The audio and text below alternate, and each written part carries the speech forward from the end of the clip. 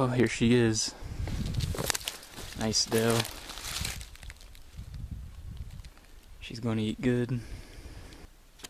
Let me get this camera set up. I'll get back to you guys.